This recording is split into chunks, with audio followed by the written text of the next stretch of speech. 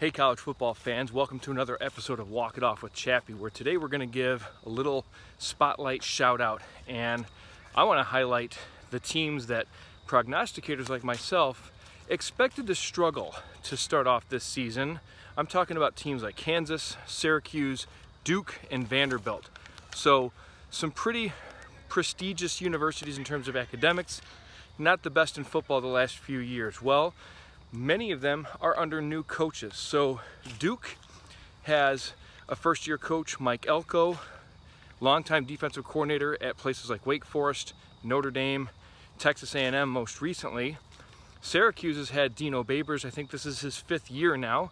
And then Vanderbilt and Kansas are in their second year with their new, new head coach, relative new head coach, Lance Leipold at Kansas. This is year two for him, as it is year two for Clark Lea. Leipold, kind of an offensive minded guy. Lea, a defensive coordinator who has also had his hand in some pretty big programs. So combined, these eight teams have started the season off eight and one in a total of nine games. They've gone six and one against FBS opponents. So only two of those combined eight wins have come against FCS opponents.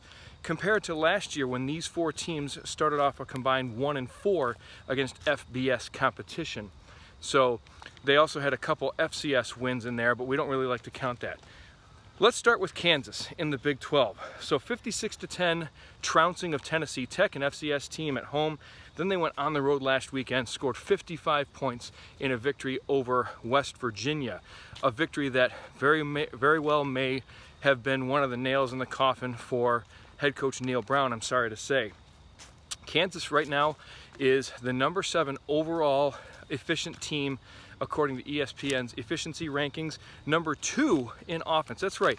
They are the second most efficient offense in college football, Kansas is. And they're getting it done with quarterback Jalon Daniels.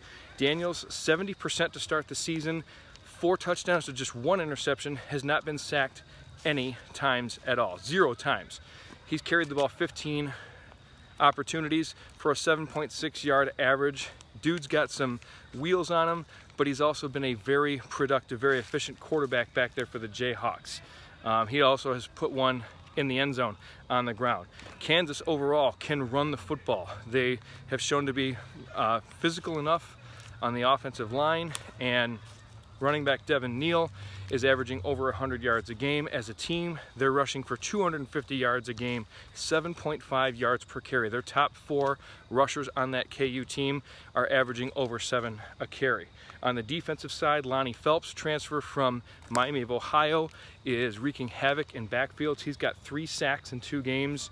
Um, he's third in the team in tackles with a total of um, 15, I believe, or 12. I think it's 12 nonetheless, Kansas is getting the job done mostly offensively, but they're also very efficient in special teams, number nine in special teams efficiency according to ESPN.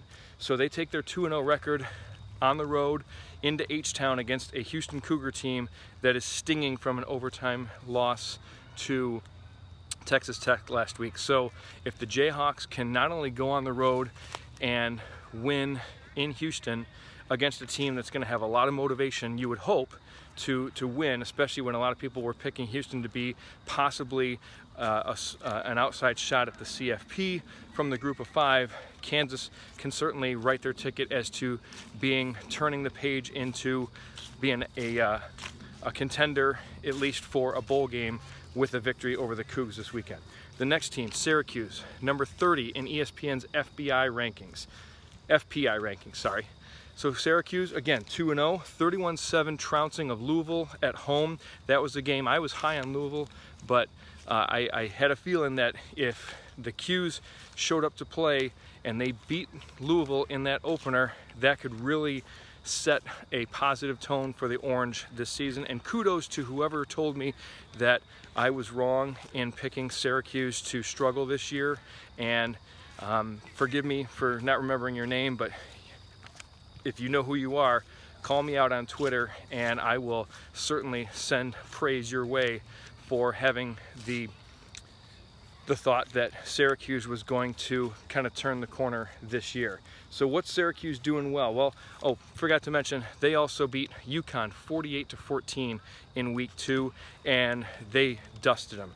It was a complete domination from a Syracuse offense. I mean, 48 points, and you know they did it with Sean Tucker on the ground. They did it with Garrett Shrader at quarterback. Speaking of Shrader, he's completing 79% of his passes, five touchdowns, zero interceptions, averaging over 250 yards passing per game. He's averaging four yards per carry when he runs the ball. Um, and I think he's got 29 carries in this young season, so he is putting it on the ground quite a bit. And he's added three rushing touchdowns to Syracuse's total. On defense, Garrett Williams, a cornerback. 16 tackles, 12 of them solo, a sack and an INT. He's really the defensive leader so far, so the Garretts are getting it done for the Orange out there in upstate New York.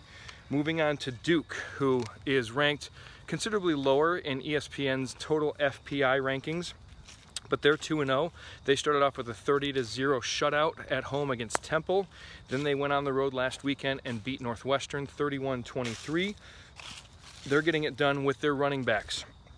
So Duke number 26 overall in team efficiency, number nine in offensive efficiency because their running backs, Jaylen Coleman and Jordan Waters, each averaging over six yards per carry. Coleman's got 6.6 with two touchdowns rushing. Waters 8.2 yards per carry rushing the football. He's added two touchdowns. And then their quarterback, Riley Leonard, has been efficient. He's been steady.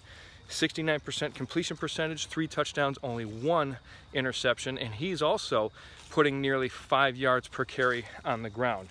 Defensively, they've gotten it done uh, with pass defense. Joshua Pickett and Datrone Young, Young a transfer from Iowa State, leading the way. Brandon Johnson also. So they have um, about four or five guys that have already defended successfully three or more passes in just two games, which is uh, pretty impressive. And then they're also getting good linebacker play out of Dorian Mausi and of course Shaka Heyward, who was a an All-ACC pick by most people, myself included. And then uh, up front as well, DeWayne Carter at defensive end, Ja'Mion Franklin, a former transfer from Notre Dame. Mike Elko knows defense and he's coaching it to these guys and they're doing a pretty good job. And then finally, the Vanderbilt Commodores, they started off really impressive out on the islands and made me look like a fool. I thought that that game was going to be close. They hung 63 on a not very good Hawaii team, but it was impressive in how how aggressive they were in scoring, but also on defense. So Anfernee Orji on defense, he's number five in the nation in tackles. He's got 27 in three games so far. Do the math, that's nine per game. He also has a defensive touchdown. Maxwell Worship at safety, he's got 20 tackles, 15 of them solo, three passes defended, and then a forced fumble. But then you look on offense, two stars stand out. Quarterback Mike Wright, a total of um, 10 touchdowns, six throwing, four rushing. He's only had one interception, completing just 60% of his passes, so that number came down just a bit in their loss last week against Wake Forest, a ranked Wake Forest team who, by the way, was powered by Sam Hartman, an All-American quarterback who tossed four touchdowns against the Commodores.